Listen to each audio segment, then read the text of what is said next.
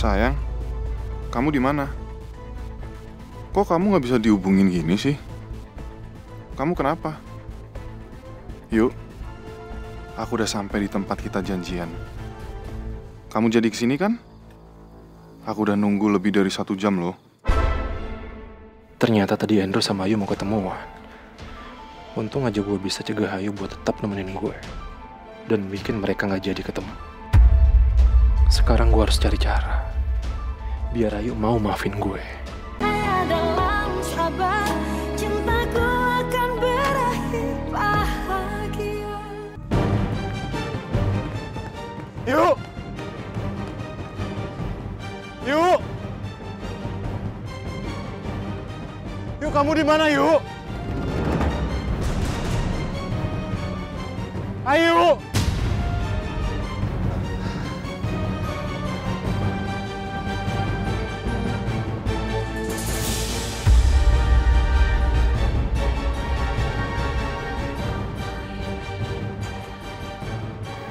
Semua ini, Ayu pasti akan benci banget sama gue. Gue bener-bener bodoh. Harusnya gue mikir panjang sebelum ngelakuin itu sama Ayu.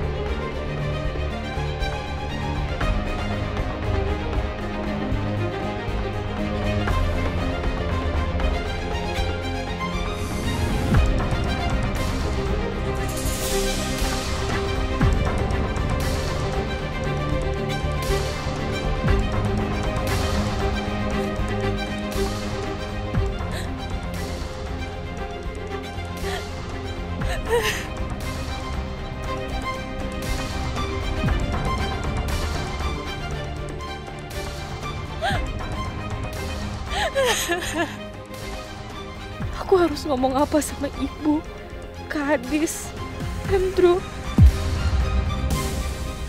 Aku udah ngecewain mereka. Hidup aku bener hancur.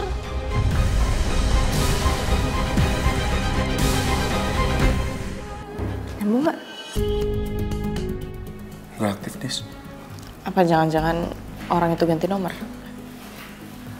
Gak tahu aku. Aku kira aku bisa nemu petunjuk dari nomor ini, Dis. Tapi ternyata nggak ada kemajuan sama sekali. Hei. Sayang, kamu yang sabar ya. Pokoknya kamu jangan nyerah. Kita akan tetap cari cara. Gimana pun caranya supaya kita bisa ketemu sama anak kandung mama dan papa kamu. Lanjut makan ya. Makan yang banyak. Disuap? Mulai.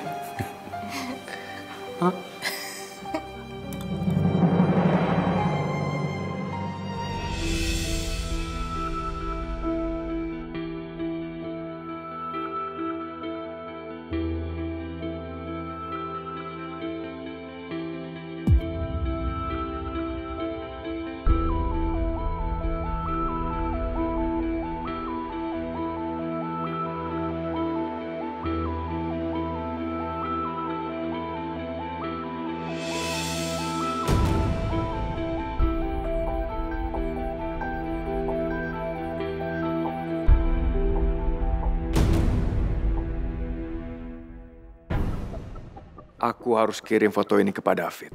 Bagaimanapun juga, ini salah satu informasi penting untuk cari keberadaan Ranti.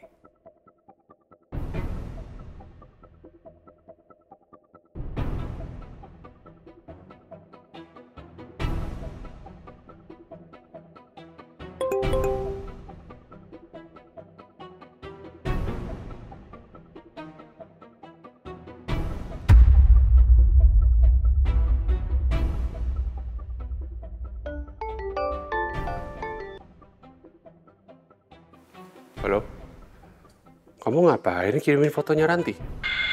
Pak David, Saya menemukan petunjuk baru dari akun media sosial Ranti. Bapak sudah lihat? Pelang dari alamat rumah itu. Ya, saya udah lihat. Kamu bisa pastiin itu rumah siapa? Kemungkinan itu rumah temannya Ranti, Pak. Besok saya segera ke sana. Untuk mencari tahu keberadaan Ranti di sana. Bagus. Kamu bilang aja, siapa pun yang mendapatkan Ranti, saya akan kasih imbalan dia. Baik, Pak David. Pokoknya, kamu kabarin aja progres penyelidikan kamu, Yaman. Intinya saya harus bertemu sama anak saya. Pasti, Pak. Saya selalu memberikan yang terbaik untuk Bapak. Selamat malam.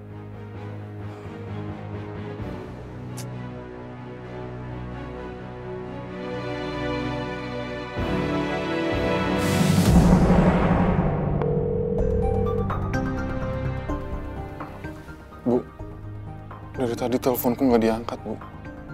Aku chat juga nggak dibalas.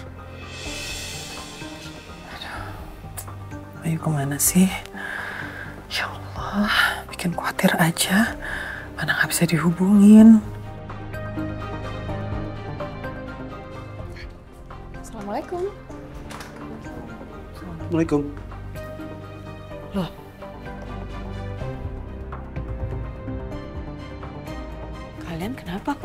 kayak gelisah gitu sih? Ayo Dis, belum pulang apa jam segini? Lembur kali. Enggak, Kak. Aku tadi udah sempat ke kantornya tau. Aku nanya ke satpam. Dia bilang karyawannya semua dan Ayu udah pulang.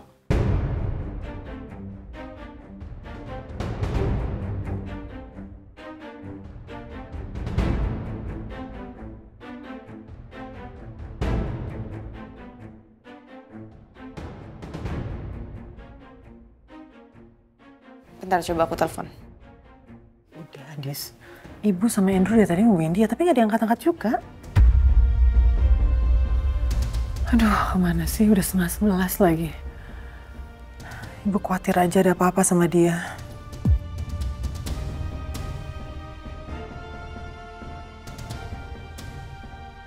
Ya udah gini deh, pasnya cari Ayu ya, biar kita semua sama-sama tenang. Aku ikut. Ya udah ayo. Ya udah kalau gitu aku juga mau ikut nyari, Kak. Nanti kita mencari ya. Kak Adi sama Kak Pasha aja, aku sendiri nggak apa-apa.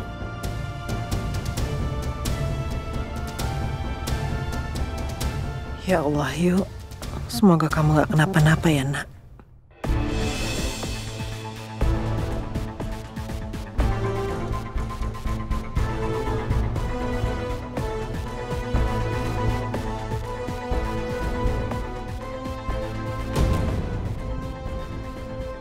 Ya ampun, handphonenya Ayu ketinggalan.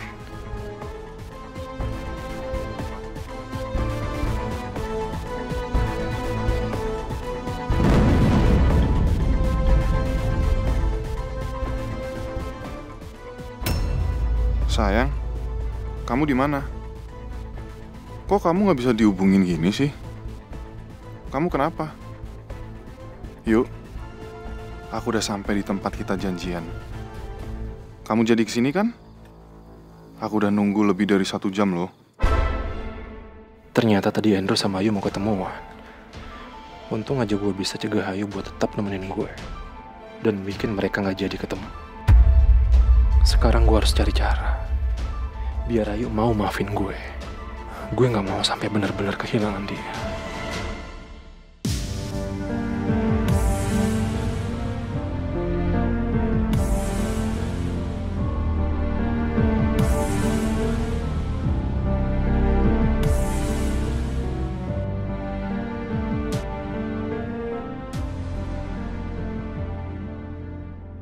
Aku nggak boleh bikin yang lain cemas dan curiga sama apa yang udah aku alamin. Aku nggak mau masalah ini makin melebar ke mana-mana. Aku malu. Aku udah jadi aib keluarga. Gimana pun caranya, aku harus kasih alasan yang bisa ngiyakinin ibu sama Kak Andis. Aku harus bisa.